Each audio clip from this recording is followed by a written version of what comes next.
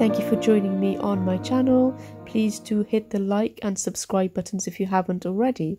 So this week um, I'm going to be showing you a step-by-step -step tutorial of a deer in the forest glade, silhouettes on a ring pour. Um, and this is an easy one for beginners. So let's get started. This is a deep edge canvas. It's a gallery wrapped one and it's about 20 by 20 centimeters and I'm going to be using this and making sure that the surface I'm tilting on and painting on is level um, which it is.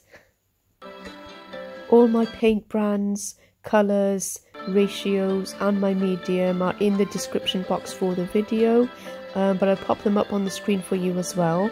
So I just showed you titanium white by Amsterdam and um, Azo yellow by Amsterdam and this one is yellowish green.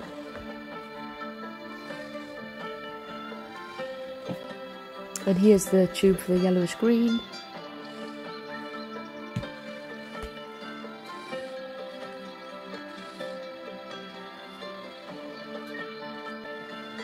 And that is Brilliant Green by Amsterdam again.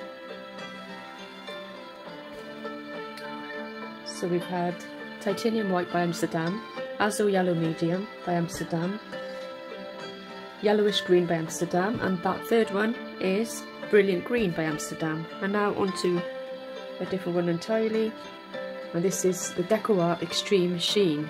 So here is the colour.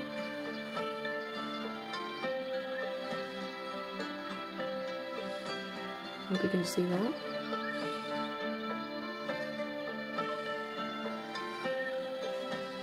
And that is this one here.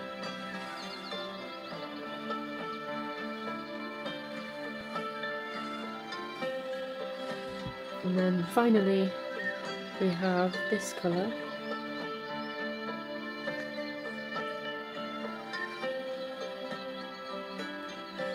And that is Amsterdam Phthalo Green.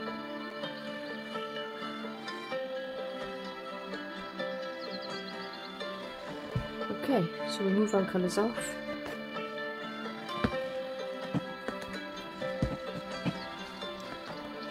And this was Amsterdam White.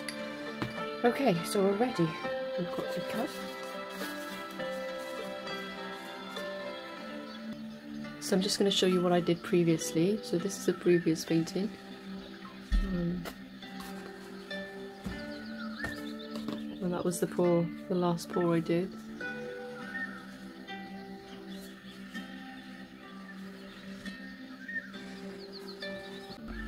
This was the pouring medium I used. It was a 60-40 uh, PM to paint and the PM is one part Daler-Rowney pouring medium, two parts PVA craft glue and one part water, give or take, depending on the paint, tube paints. Um, and they, it was 60-40 ratio with the paint. And so with my cup um, ready, I start pouring my paints in down the side and I'm going to have really thin layers um, and my paint consistency is rather thick um, I guess it could have been a little bit more thicker, but um, I kept them um, kind of medium thick. Um, and I'll put the consistency down in the uh, description of the video. Um, and I did do a drip test with these and made sure they were all a similar consistency, just so that my um, rings don't tilt out of shape if some of them are runnier than others um, which would usually happen. So consistency is really important when doing a ring pour.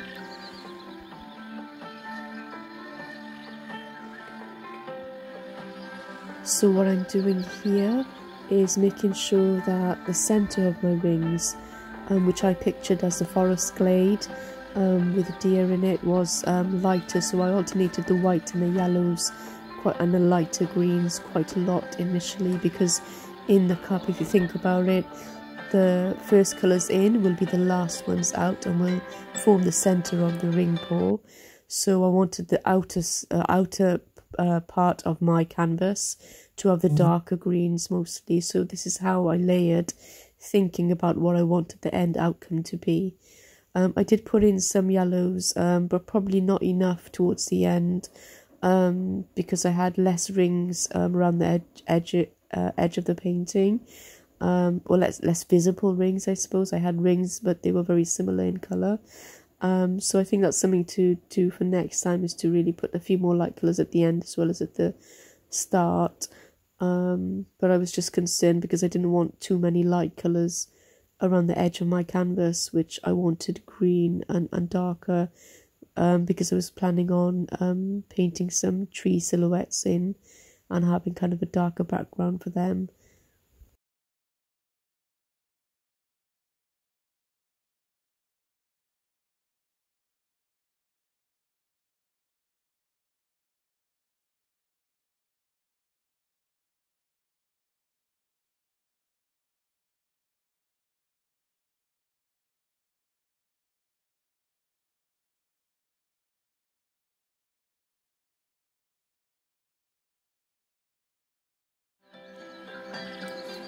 So again, just like my previous pour with the polar bears, um, the ice cave pour, um, I'm going to start tilting my colours out and making circular movements with my hand so it comes out in circles and I'm going to try and go steady and slow.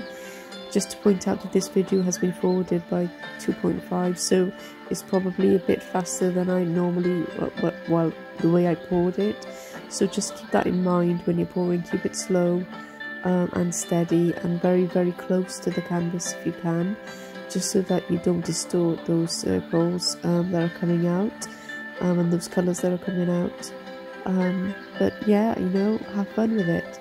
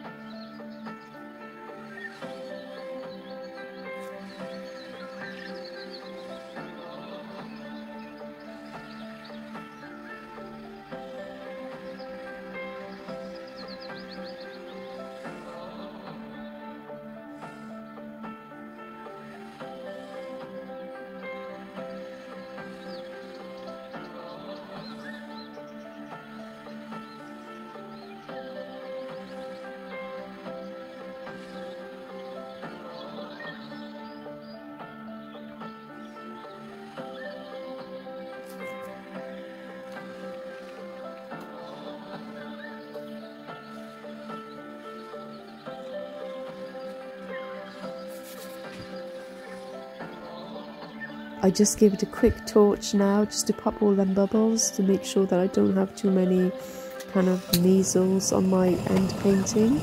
Um, it's always good to try and uh, mix your paints um, a day or two in advance if you can um, and allow the bubbles to kind of dissipate by themselves.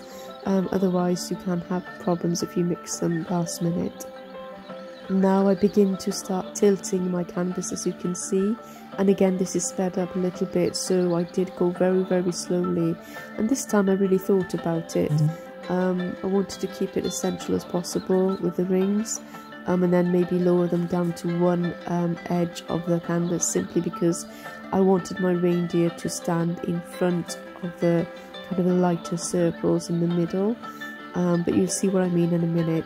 So what I'm doing now is just tilting to each of the sides to begin with and back to the center and then I'm tilting to the other side and back to the center and then I go to do the corners.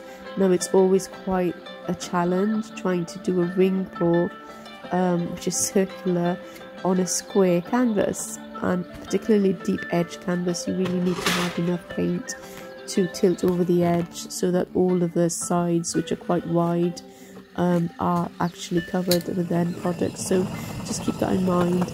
I'm just going over it with a torch again um, because I can see quite a lot of bubbles in the light. I don't know if you can see them there. Um, but yeah you can see my ring light is reflecting. Sorry about that. But yeah I'm just tilting it to the corners now.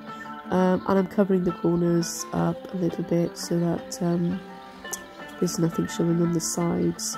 I didn't really get a lot of wastage with the paint, which is good, but I did manage to cover the whole canvas as well.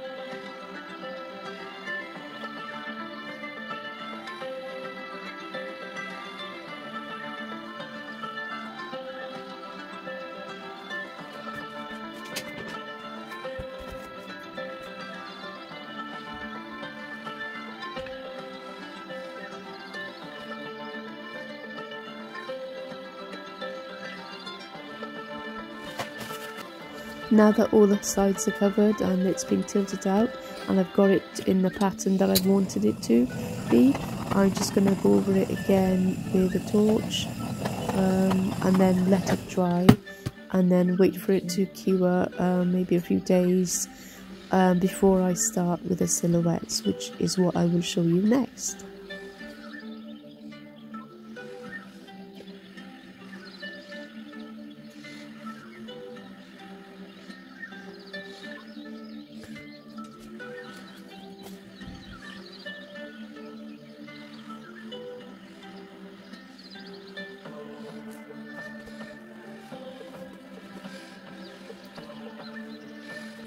Um, I'm using a small skewer to kind of clean off the undersides of the painting um, and make sure there's no drips drying there before I leave it.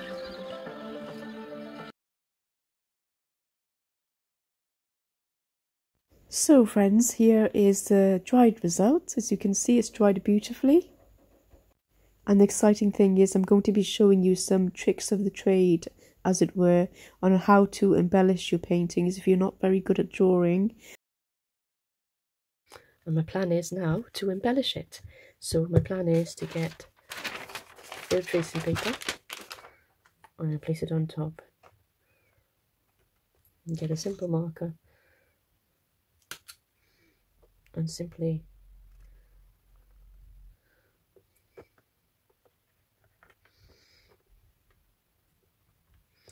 show you where the outline is. Show, I will just draw on here where this is.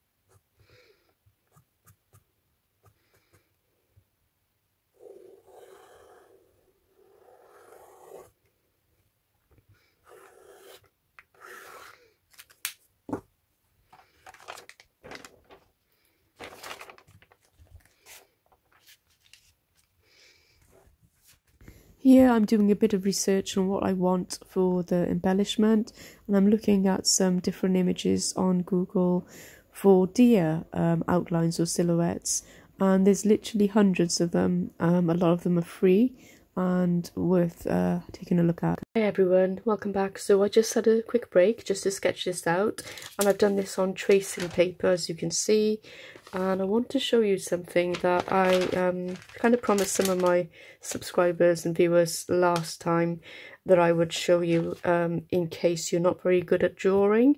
Um, so if you're not very good at drawing even with simple things like silhouettes um, that you might find, which are usually royalty um, and copyright free images, as clip art images and other things, and stock art images.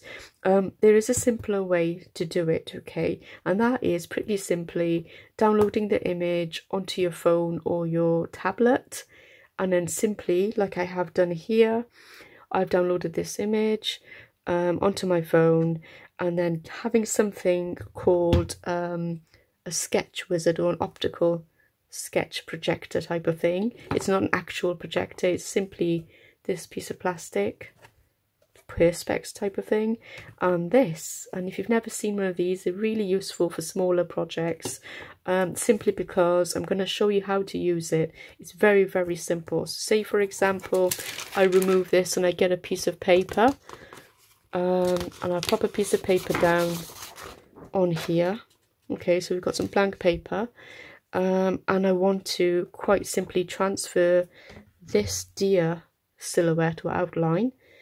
Um, it is copyright free, just so you know, um, and transfer it onto my, say this is a canvas, for example, and you want to transfer it over. So what I would do is make sure the orientation is the right way here, um, put my screen um,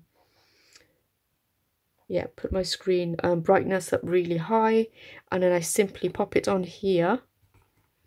And I don't know if you can see from up here but you can already see if I turn my light off a reflection on the paper here. Put my light off. And you can probably see it better and the darker the room is the more likely you're going to see this. So I might switch the light off so you can see what I mean. One second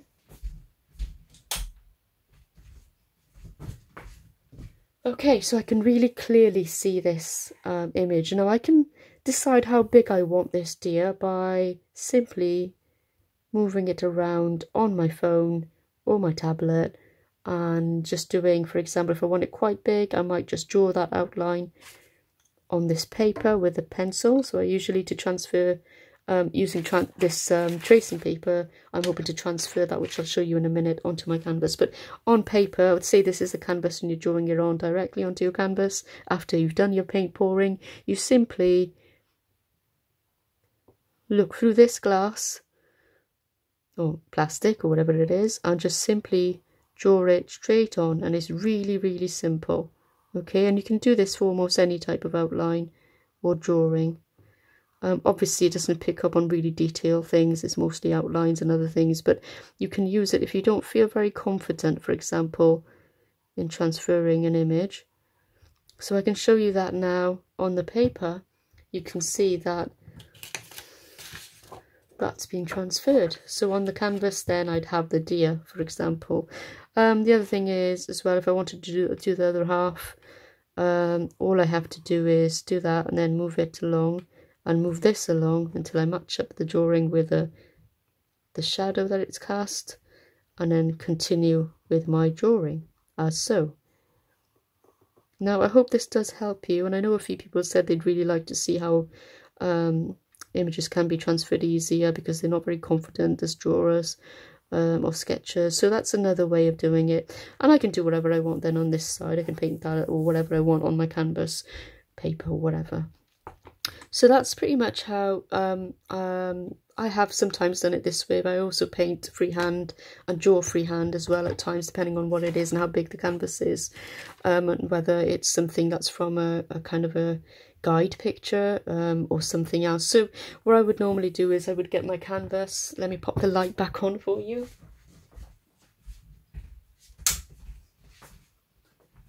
So, for example, I would just get my canvas like so and do exactly the same thing okay So you can do it, for example, onto your canvas so you can still see it on the canvas. I can pop him right down there, which is what I plan to do.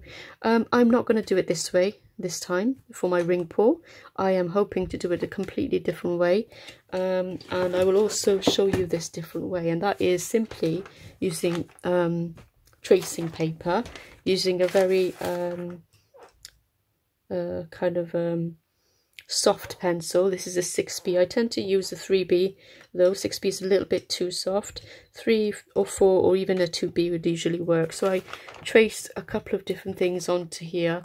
I found some trees, silhouette trees, um, which are free uh, and copyright free, royalty free clip art and I drew some trees on, tried to follow the lines of the pour. So here, as you can see, I initially drew out some of the lines that are in this pour to give me an idea where I should place my trees. So um, I did some trees here and I tried to follow, and I'm going to do that on the canvas. I'm just going to make sure that the trees are sort of bending along with the lines of this pour just to make it fit in. Um, and also I've done a couple of deer as well. I'm having more than one. And um, I had to decide on the size and I've chased two different deer from two different sources, both copyright free again. Um, just make sure you're, you're copying um, outlines and things which are um, available to you to use, okay, or you bought the license to. So um, there's loads of places as well where you can get these free clip art, uh, stock art images. So um, yeah, so I'm to now transfer this onto here and the way I will do that is pretty simply reversing it. So I initially drew, drew this on to the tracing paper in reverse, knowing that I was going to put it on um, onto the canvas in reverse as well, so it would make more sense. So I'm just going to line this up now. I'm going to get a really hard pencil. So obviously, initially I just used a soft pencil to draw the outline. I'm going to use a really hard pencil, a 2H now. Okay, um, and I'm going to, um, I can even use a 5H, it doesn't matter, that's sharper. Okay, the sharper the better. I'm going to blue tack this onto the canvas so it doesn't move. So a little bit of blue tack on either side to try and, try and keep it steady. Oops, what am I doing? Okay, there's one and then there's two. So I'm just going to make sure that's lined up nicely. Perfect. And I'm going to get my oh, 5H or yeah 5H pencil. It's a hard pencil. I'm going to make sure the D is transferred and show you how I've done that. So I'm simply either going to go over the line that I've already drawn which is a quick and easy way of doing it. Or you can simply just sort of do this. But I'll just go over the line because I think that's simpler and once I've done this then you'll see that it's actually transferred that outline with a 6B pencil onto the canvas. 6B or can't remember if it was 6B or 4B I used but a softer pencil. So I'm just going to make sure I do every little bit.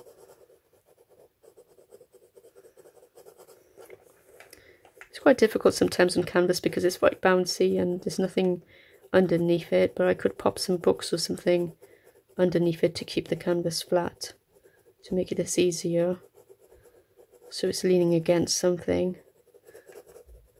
So I'm just to pause you and do this and then I'll come back. Okay, so I managed to finish doing as much of it as I could. Um, as much as I need to, I think. So I'm to lift this off now and see if it's transferred underneath. So let's have a look.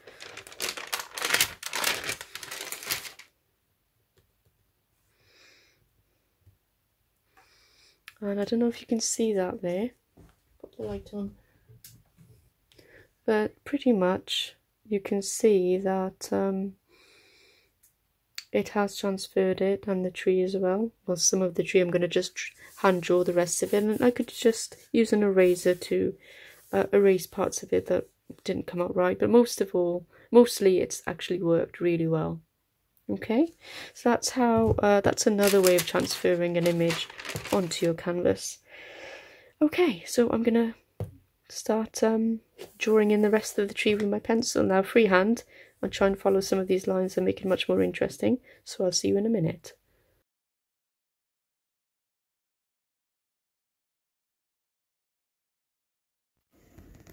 It's at this point I decide to freehand draw the rest of the tree. I mean, how hard can a tree be, right? You can't really make many mistakes. So I did use a couple of different reference pictures um, just to look at branches and things and give me an idea of what I wanted to do. And I did want to follow some of the lines that are already um, on the pour background. Here you can see me getting a wet wipe and wiping away the pencil lines where I made mistakes. And I just simply draw it right onto the canvas with my um, pencil. Um, and what I'm going to do then is take an acrylic paint marker in black and colour in between those lines and colour the tree silhouettes in. Um, and you see that in a minute anyway.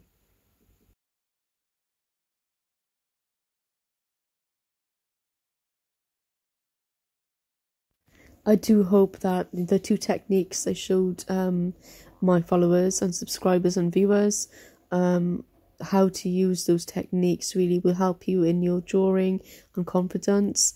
It is quite hard if you don't feel you're very good at drawing or sketching, but I think those tools will help and, and you know those methods will help um, greatly. But let me know in the comments if you do try them out or if you've heard of them before, you use them currently, or if you didn't know about them at all and plan to give it a go.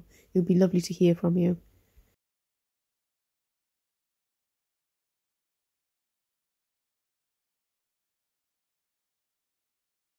And now here I am with my acrylic paint marker which has got a 0.7 mil nib um, and I'm simply drawing over the pencil lines I've already made um, and just colouring it in really. I mean you can use a paintbrush and acrylic paint if it's easier but with the kind of finer lines I do use a, a pen marker um, and then I can fill it in if I want to and you can do it either way.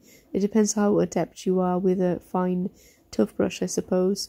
But um, yeah, the, the plan now is simply to get the silhouettes onto the canvas, um, just painted on or drawn on and filled in.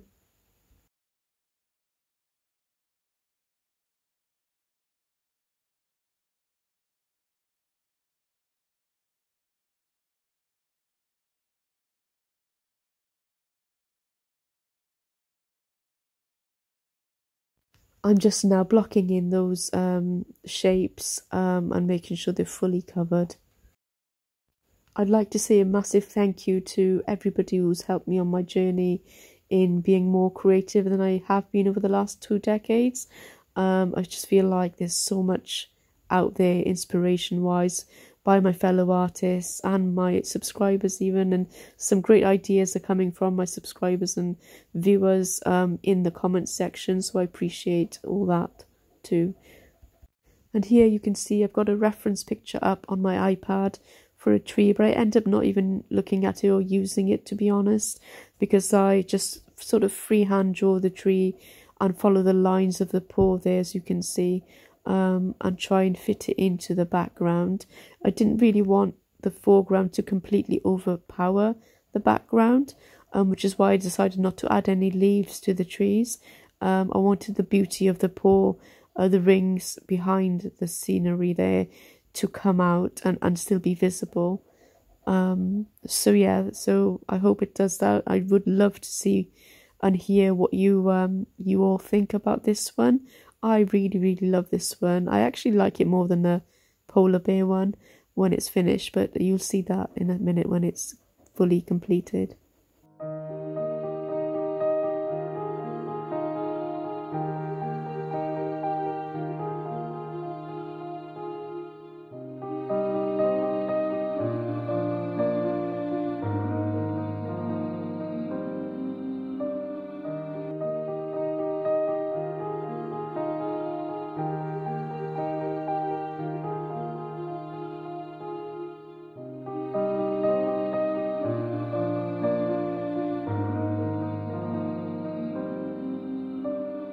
I just want to say a massive thank you to all my subscribers and viewers because I had the wonderful news that I hit 500 subscribers um, a few days ago on YouTube. So thank you so much for supporting me and watching and commenting and leaving feedback and saying how much um, my tutorials have helped you or given you any inspiration. I really appreciate it. Thank you. Okay, so now it's finished. And I finished adding the silhouettes in my black acrylic ink pen?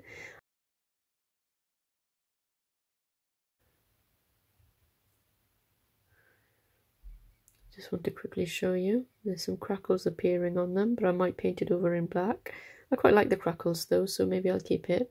Um, but I can use a paintbrush with some acrylic black paint now if I wanted to and um, just try and fill in the more um, bigger parts really to make sure it's fully black but yeah that's it i hope you like it thank you for joining me on this journey and hopefully um, you've learned, learned a few things along the way um, and you've learned how to create something like this. Thank you for being with me, and I'll see you on the next one. Bye.